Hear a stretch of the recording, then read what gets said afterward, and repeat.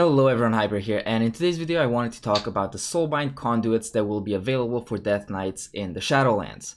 These have been data mined and they haven't been actually added to beta yet, so I couldn't test them out, but I just wanted to go over them real quick and just give my opinion on what they are, and if I think they're a good Soulbind uh, conduit or not. So if you don't know, Soulbind conduits will be similar to relics in Legion. You'll be able to equip three or four depending on what soulbind you pick, and that's going to depend on um, which covenant you have, and then within each covenant you have three different soulbinds that you can pick from. One thing to also mention is that they recently said that conduits would not be destroyed whenever you use them like they initially planned. They're looking for a semi-permanent solution um, where you can swap conduits, but it won't be exactly as easy as just swapping a tome. With that out of the way, let's go over the actual conduits. There's three types of conduits that you can equip. There's potency ones, which are essentially DPS conduits. There's endurance ones that are tank conduits, and there's finesse ones that are typically either like utility or defensive conduits. So the first one that we have here is Accelerated Cold. That is a potency conduit and it causes your Empower Rune Weapon to recharge 5% faster, and haste amount from Empower Rune Weapon is increased by 10%. On paper, this might sound good, but Empowered Rune Weapon already syncs up with Breath of Sindragosa. Well, I guess not anymore because they changed the cooldown. Um, but maybe you can get your Breath um, or your Empowered Rune Weapon down for like an Obliterate build or an Ice Cap build potentially. But honestly, this is one of the few conduits that I'm actually not all that sure about. Second one is Biting Cold, another potency conduit. Remorseless Winter deals 2% increased damage to enemies it hits, stacking up to 10 times. So this just increases your remorseless damage quite a lot. Um, so 20% if it's stacked all the way, that is pretty good. It's essentially like a second Gathering Storm but this one might be pretty powerful for Frost. Then we have Blood Bond, which is an endurance conduit. Rune Tap heals you and your party for 5% of your maximum health. This one could be extremely interesting in Mythic Plus because Blood DKs already have a naturally high health pool. So whenever you Rune Tap, you heal your entire party and yourself for 5% of your maximum health. That combined with like Vampiric Blood, for example, can mean an actual significant amount of healing to your entire party. And especially if you equip the legendary that gives your entire party Vampiric Blood, um, I feel like there's quite a bit of potential for some pretty insane healing coming out of Blood DKs there. Uh, next we have Chilled Resilience. This is a finesse conduit Icebound Fortitude's cooldown is reduced by 15 seconds, and that's just flat. So this is just a defensive conduit. Icebound is a pretty long cooldown. I personally don't like it too much. Um, I wish this was AMS, to be honest. But either way, it's it's a decent one for just defensive purposes. Then we have Embrace Death. That's a potency conduit. Uh, Sudden Doom increases the damage of your next death coil by 40%. So this one actually synergizes a little bit with the Unholy Talent that gives us increased Sudden Doom procs and uh, allows us to charge up or st store up to two Sudden Doom procs. Um, so that might make this conduit a little bit better, or this conduit might make that talent a little bit better, but I'm still not sure if it's going to be enough to take that over Soul Reaper. We'll just have to wait and see. Uh, next we have Eradicating Blow, that's another potency conduit. Obliterate increases the damage of your next Frost Strike by 10%, stacks up to two times. Kind of interesting. Um, with Breath of Sindragosa, I don't see this being used too much, but with either an Ice Cap build or like an Obliteration build, um, this conduit actually does have some potential. Next we have Eternal Hunger, another potency conduit for Unholy. Dark Transformation's duration is increased by 5 seconds. That's it. So Dark Transformation is normally, um, well, there's going to be legendaries that you can extend the time of your Dark Transformation. Um, there's legendary that gives you and your ghoul some attack speed during dark transformation. So this conduit kind of has secondary interactions with items that um, we will be getting in a Shadowlands. Then we have Fleeting Wind, which is a finesse conduit. This advance grants you additional 10% movement speed over the first 3 seconds. So essentially, you just get a little bit faster. Um, this one is alright, nothing special. Then we have Hardened Bone, which is an endurance conduit. While Lichborne is active, the damage you take is reduced by 5%. Currently in BFA, Lichborne is a uh, is the same as Icebound Fortitude, you just get super slow during it. So potentially, if you stack enough of these conduits, you can actually make Lichborne into a decent defensive cooldown as well.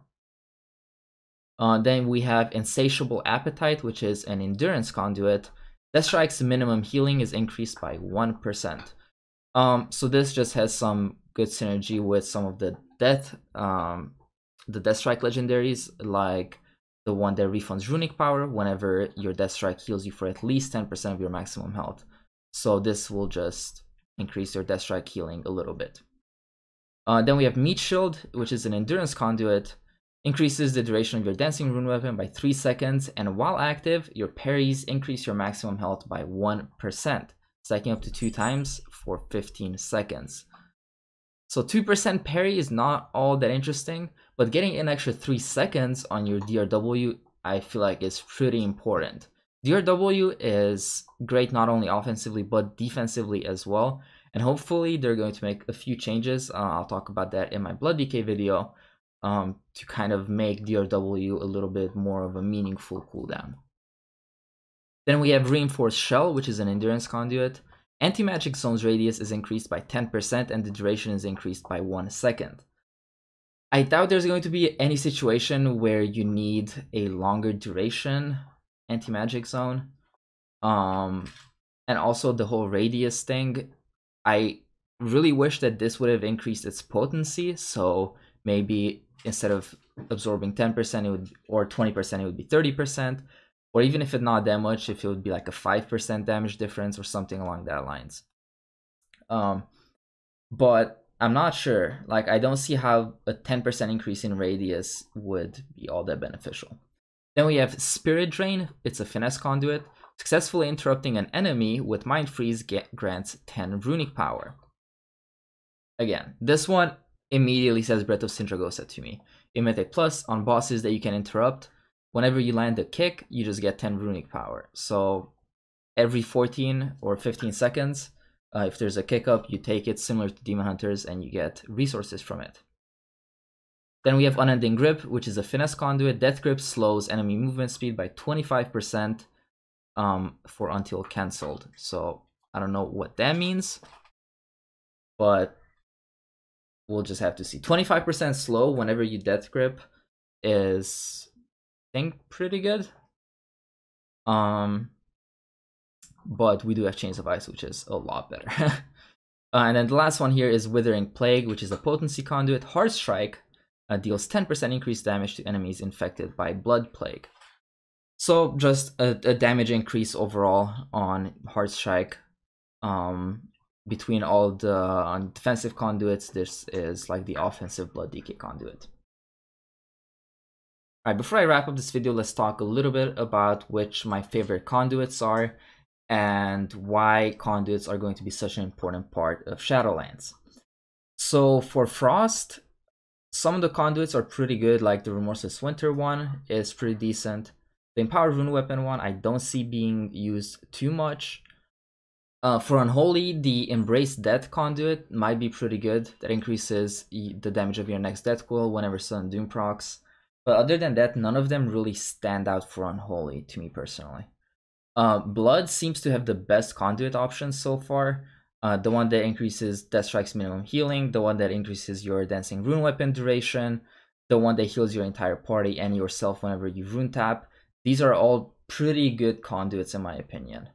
Um, so I really hope that they add some more Unholy and Frost specific ones because otherwise this is looking a little grim so far. So looking at the actual conduit system and how it interacts with our soul binds, it's a fairly complex issue. because you will have to pick a covenant. Within that covenant, you need to pick the correct uh, person to soulbind with. You can swap these, but it's going to be more difficult to swap your conduits over. So it's kind of an important decision. Um, for example, if I picked Pelagos here as a Kyrian, my first choice would be a potency or a finesse conduit slot. So typically, the potency path leads down to the most DPS, but the issue is that that's not even always the case. Um, a lot of the times, you will see that you will need to go like a defensive talent row to get to a good soulbind by that, you give up a potency conduit and you end up having to use a defensive one. So it's going to be a super complex issue because you can't just equip any conduit in any slot. So it you need to factor into decision what soulbind trait you're aiming for and what soulbind conduit it actually has on that path.